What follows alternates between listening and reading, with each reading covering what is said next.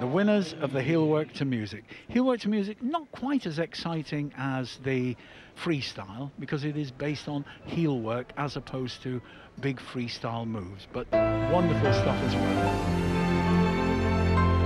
Braveheart.